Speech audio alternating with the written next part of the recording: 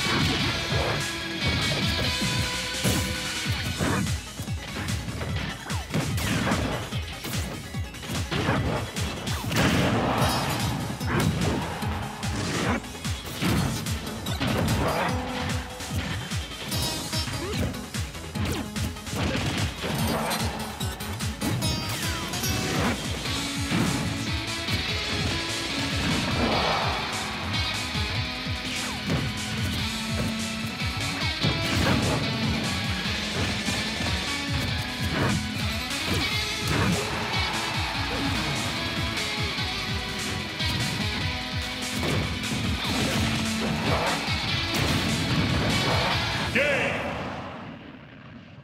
The oh, winner